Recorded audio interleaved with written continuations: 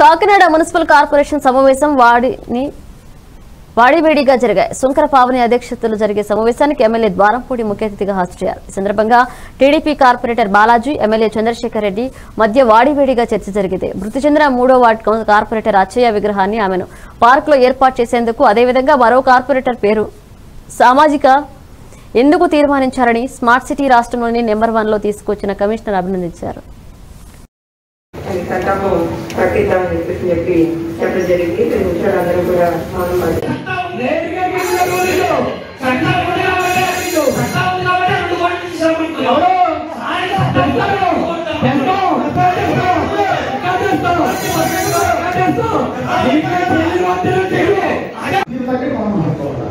మీరు చెప్పండి అక్కడ చేయడం ముందుకున్నాం ఇందులో ఎజెండాలో తప్పుడున్నాయో చెప్పండి రిప్లై చేసుకుందాం.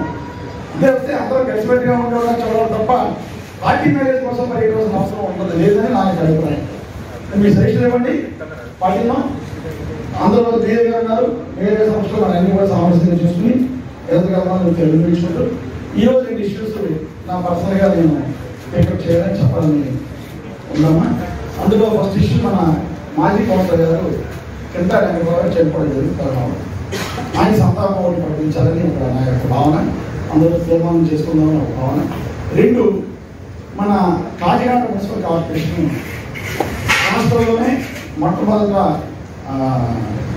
స్మార్ట్ రావడం జరిగింది.